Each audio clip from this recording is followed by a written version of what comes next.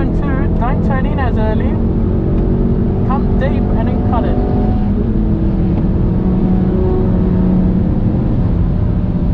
You know what I'm saying?